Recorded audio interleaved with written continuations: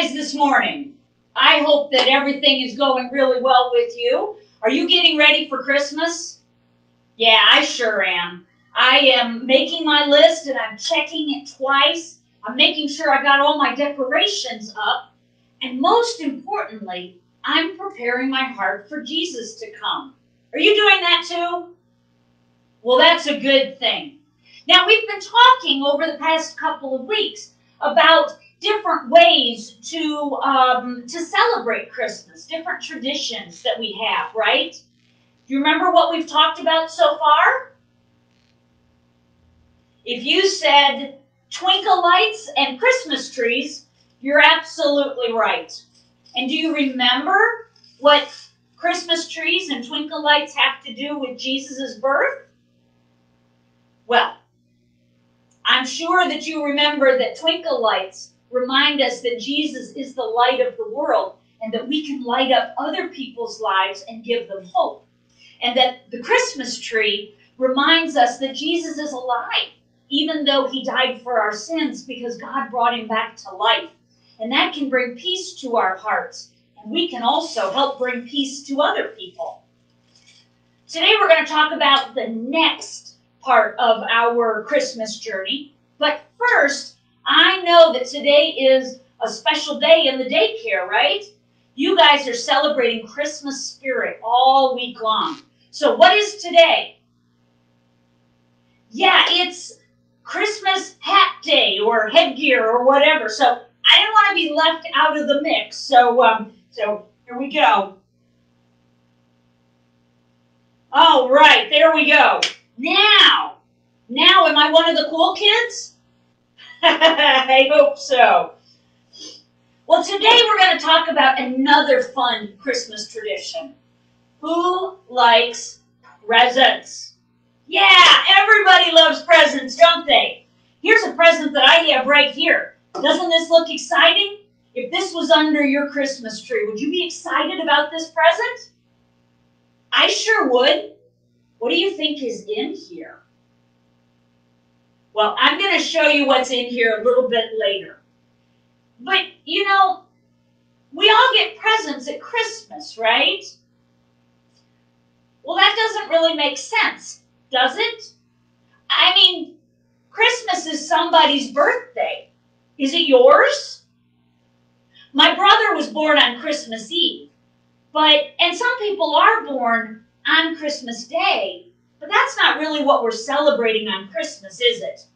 Whose birthday do we celebrate on Christmas? Jesus, right? Very good. So, when you have a birthday, do other people get presents or do you get presents?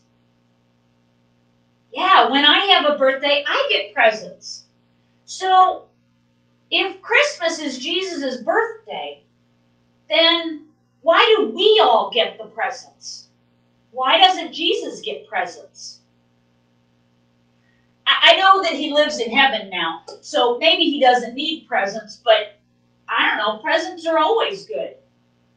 Well, the thing is, we give presents at Christmas time, and we get presents at Christmas time to remind us of Jesus.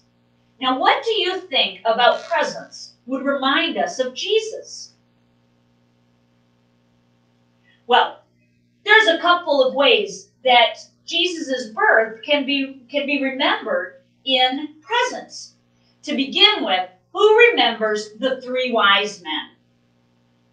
Yeah, if you've got a nativity set up, you've got three wise men there, probably, right? They came, traveled from the east. We know from the song that they came a long way and they brought presents to baby Jesus when he was born. Now, here's a gold star question. Does anybody remember what those presents that the wise men brought were? If you said gold, frankincense, and myrrh, then you're very smart. Good job, you get a gold star. But do you know what any of those are? Now, gold we know, right? There's, there's gold in this ball here. You can probably see it. It's really nice and shiny. We know what gold is. Maybe you have some gold jewelry, or maybe you know somebody who does. So gold's not hard. But what is frankincense? Well, frankincense is this. I'm going to try and show it without tipping it out. Frankincense is a type of incense. It's something that was burned in the temple when people worshiped. Myrrh looks kind of like it, but it's darker. See, this is frankincense and this is myrrh. And myrrh is kind of smelly too. It was used when people died to perfume their bodies so that they didn't smell after they died.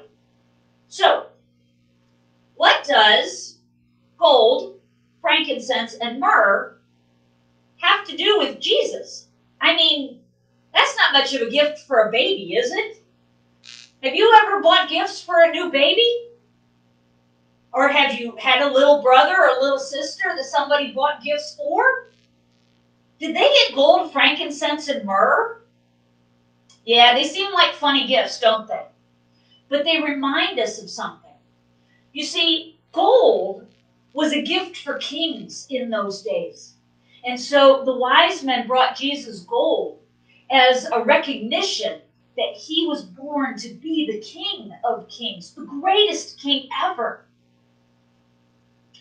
Frankincense, because it was used in worship, was brought to remind us that we are meant to worship Jesus. He is God, God's Son, after all. So frankincense reminds us that he was born to be worshiped. And myrrh, that might seem like a funny thing for a baby, having something to do with perfuming dead bodies. But remember, Jesus came so that he could die for our sins. And so the myrrh was a reminder that he was going to die, but then Jesus was going to raise it back to new life. So one of the reasons that we give presents is to remember those presents from the wise men. But it's not the only reason. Can anybody think of another reason why we give presents to remember Jesus? Well, we give presents because of a present that God gave us about 2,000 years ago. That's a long time ago, isn't it? But that's when Jesus was born. And Jesus is the best gift that we've ever gotten. Jesus is the gift that God gave us 2,000 years ago and still gives us today. We know this in the Bible. There's a very special verse, John 3:16. And John 3:16 basically tells us everything we need to know. It says this: For God so loved the world that God gave his only son, so that anyone who believes in him, that is Jesus, will not die, but will have eternal life. That's a pretty good gift, isn't it? God gave us the gift of forgiveness when we make mistakes. So through Jesus, we can be forgiven when we do something wrong or when, when we're not nice to somebody.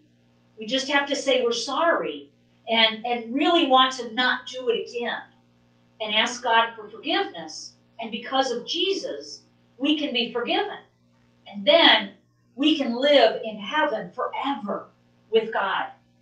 That's a pretty good gift, don't you think? Probably better than, than a bike or uh, a new Xbox, although those are cool too. But, you know, someday they might break. The gift that God gave us, the gift of Jesus, that never breaks. So you see, it really is the best gift ever. So we give presents to one another and receive them ourselves so that we can remember that God gave us the greatest gift, and we can show our love to other people by giving them presents.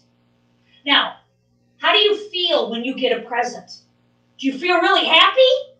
Yeah, I do. God gave us the gift of Jesus so that we would feel happy too. And the special kind of happiness that we have in Jesus is called joy. Have you ever heard of joy? Some people have it as a name. Well, joy is happiness that never goes away. Wouldn't that be cool? I mean, sometimes we're happy and sometimes we're sad, But with Jesus, we can have joy that is way deep down in our hearts. In fact, when I was a kid, we used to sing a song in Sunday school about joy. It was something like, I've got the joy, joy, joy, joy down in my heart. And then somebody would yell, Where? Down in my heart. Where? Down in my heart. I've got the joy, joy, joy, joy down in my heart. Down in my heart to stay.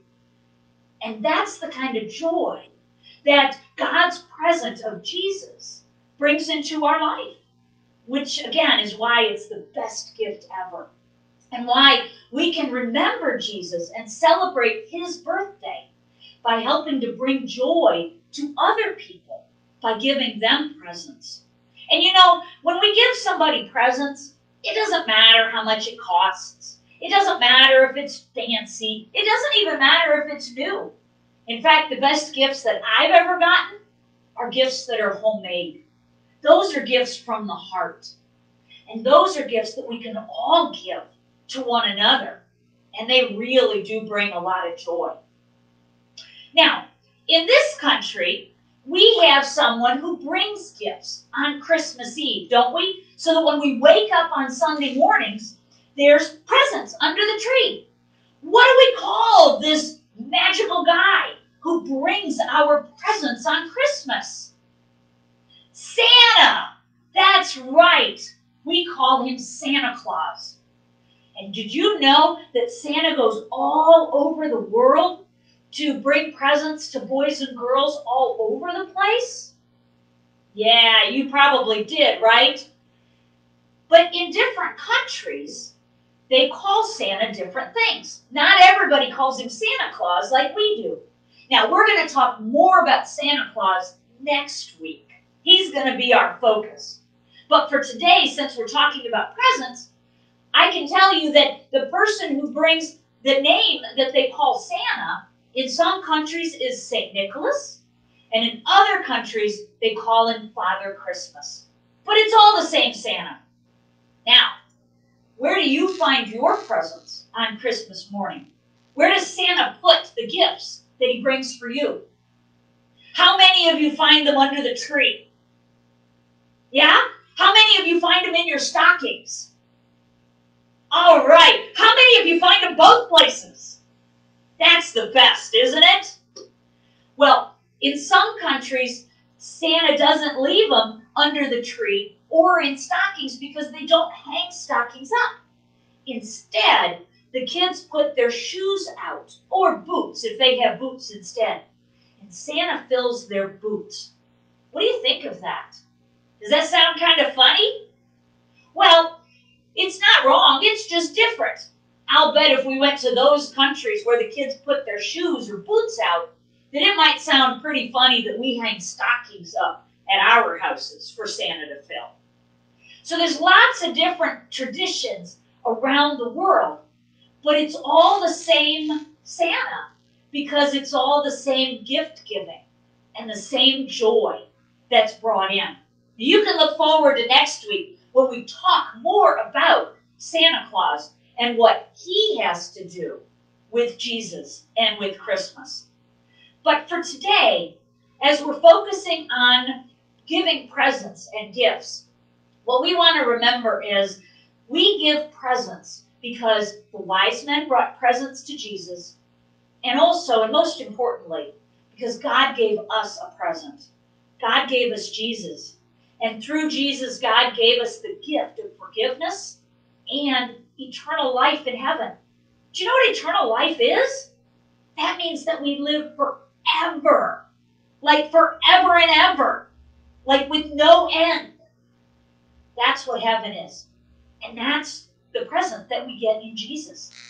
That's pretty cool, isn't it? And that's why it brings joy into our lives and why we can bring joy into other people's lives by sharing with them and bringing them presents as well.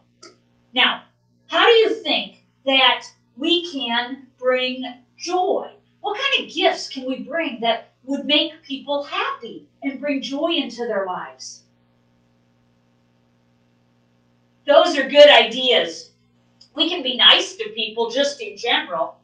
I also found this card We can just give somebody a card, and if we don't have any money, we can just make one.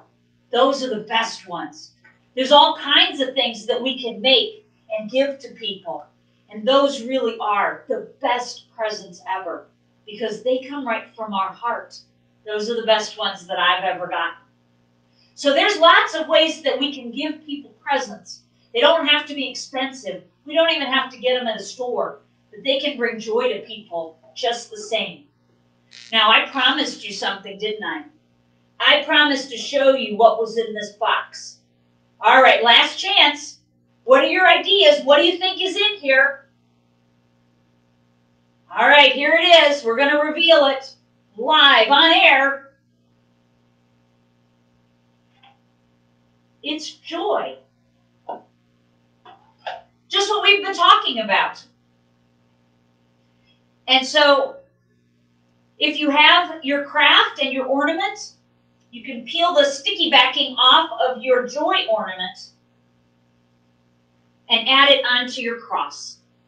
And now we're starting to look complete, aren't we? Now, through our faith, we know that in Jesus we have hope. And we can be reminded of that in the twinkle lights. We know that through Jesus we have peace in our hearts and hopefully someday in our world. We can be reminded of that in the Christmas tree. Today we learn that Jesus came to bring us joy because he's God's best present because we can be forgiven through him. Wow! Did you know that all of these things had so much to do with Jesus? I'm glad you're joining me so that you can learn all about it. Make sure to tell other people too so that they can know just how much Jesus loves them because truly that's the best gift that any of us ever get. So let's pray and let's ask God to show us ways that we can help bring joy into other people's lives. Let's pray together. God, thank you for the best present ever. Thank you for the gift of Jesus that you gave us so many years ago, but that you still give us today. Thank you that Jesus came so that we could be forgiven when we do something bad or wrong and say we're sorry. And thank you that because of him, we can live forever and ever in heaven. We know how much you love us, God. And because of your love, you sent Jesus. Show us ways that we can show other people how much we love them too. And show us ways how we can give and bring joy into other people's lives, just like you've brought into ours. We pray all of this in the name of Jesus. Amen. All right, that wraps us up for another week. But you've got plenty to do to think about all of the ways that Christmas points to Jesus. So I'll be back again next week. We'll wind it out talking about the big guy himself none other than Santa Claus. So until then, remember to be nice to everybody and be really safe. And mostly, remember that God loves you and God loves all of us. Bye.